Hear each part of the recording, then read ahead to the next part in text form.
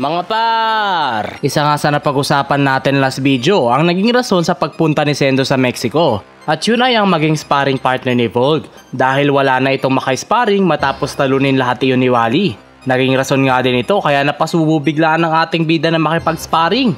Kung matatandaan nga natin sa last video, sinabi ni Sendo na magpalit sila ng kay-sparring dahil nga gusto nitong makalaban si Wally. Kaya naman ang nakalaban ni Ipo sa sparring ay si Volg. Si Volg ay isa na ngayong IBF Junior Lightweight World Champion. Grabe ang lakas na ng mga batchmates ni Ipo no, pang World Champion level na. Pagkatapos ng sparring ni Wally at Sendo, sinabihan nga ang ating bida ni Volg na sila naman ang mag-sparring. Sinabi nga ni Ipo na siya ay retired na at ang kanyang katawan ay wala sa kondisyon.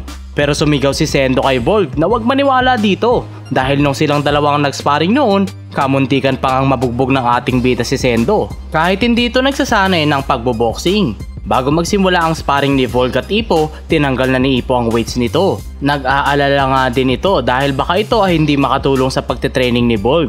Sinabi nga ni Dan kay Ipo na ang makakalaban ni Volg ay isang infighter kagaya niya. Kaya't sinabi nito na gawin ang usually niyang ginagawa kapag nagboboxing. Sugod lang ng sugod.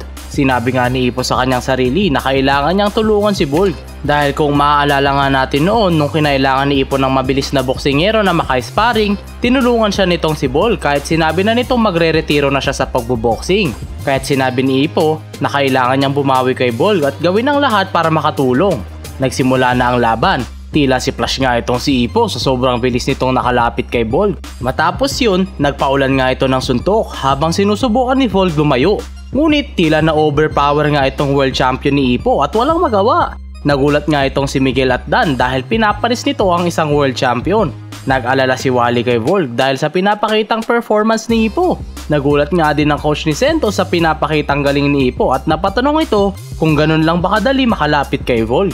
Chinir nga ni Wally si Volk at sinabing do your best at tila ito na ang naging wake up call ni champion at nagseryoso na to. Ginamit na ni Volk ang kanyang signature move na White Fang pero binasican lang ito ng ating bida. Madali itong sinapo ang mabilis na left hook at right hook gamit ang kanyang kamay. Laking gulat nga nito ni Volk at sinabi na para siyang sumuntok sa bato sa tigas ng depensa ni Ipo. Ipinagpatuloy ni Ipo ang pagiging agresibo at tila wala pa ding panama itong si Volk. Sinabi nga ni Ipo sa kanyang sarili na kailangan niyang ibigay ang lahat para matulungan si Volk sa sobrang galing nga ng bagong version na Ipo Makonochi, kahit ang isang outboxer na si Volk ay napipilitan makipagbakbakan ng malapitan dahil sa mga kalkuladong galaw ng ating bida. Nang magpakawala si Volk ng isang right straight para mapatigil ang pag-abante ni Ipo, madali itong nailagan at ginulantang si Volk ng isang malabumbang libre blow. Sinubukan ngang bumawi ni Volk pero pinamalas uli ni Ipo ang kanyang natutunan na sa trainer. Sinalag uli nito ang isa pang signature move ni Volk na swallow o tinatawag ding hien. Grabe, parang halong Manny Pacquiao at Freddy Roach tong bida natin ngayon no? Malakas sa infighting tapos sobrang galing magpari na tila nagbimit trading lang. Sinasalo lang ng kamay eh no mga par. Muli ngang nabilib kay Ipo ang dalawang coach na nanonood sa kanilang sparring.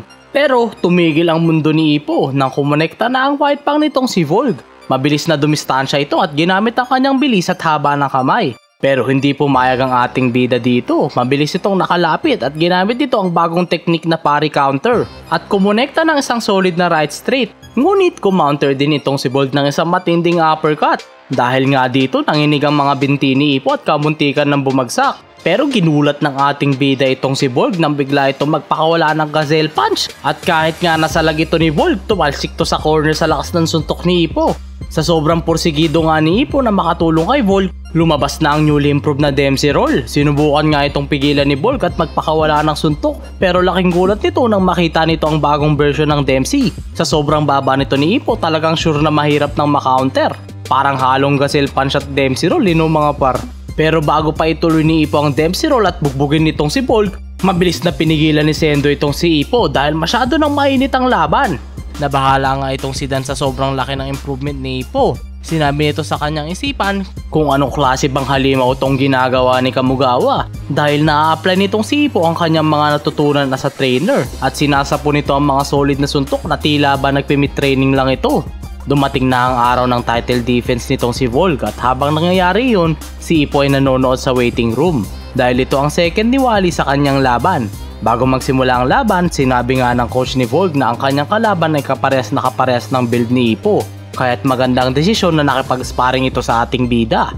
Pero sinabi ni Bolg sa kanyang isipan, nakabaliktaran lang nangyari. Dahil nga doon sa sparring nila ni Ipo, nagkaroon ito ng problema. Doon nga natin nalaman na napuruhan pala ito ng gusto si Bolg dahil sa liver blow ni Ipo. At dahil doon, nagkaroon ito ng injured na ribs. Nagsimula na nga ang laban. Mabilis na ginamit ni Bolg ang kanyang signature move na White Fang. Ngunit hindi ito nagawa ang follow-up na right hook dahil sa injury. Nagpanik itong si Bolg dahil ang estilo nito ay mahinahon at mahabang laban. Pero hindi nito magawa ang kanyang usual style dahil sa nangyari nga sa sparring. Nagbato nga ang kalaban nito ng body blow at madali itong nasalag ni Bolg. Ngunit kahit nasalag niya ito ng malinis, tila napuruan pa rin itong si Champion. Dahil nga ayaw na nitong si Bolg matamaan ng kanyang ribs, hindi nito napansin na nakukorner na pala siya kakailag. Mabilis nga itong nakalis sa corner na kumonekta ito ng left hook. Pero nanatiling porsigido ang kalaban nito at patuloy ang pagsugod. Dahil nga sa pagdistansya nitong si Bolg, muli na naman siyang makakorner. Ngunit sinabi nito sa kanyang isipan na kailangan na niyang tapusin ang laban. Bago pa nito mapansin na kaliwang kamay lang ang kaya nitong gamitin. Inisip nga nito ni Champion na si Ipo ang kanyang kalaban at unti-unting lumakas ang mga suntok nito.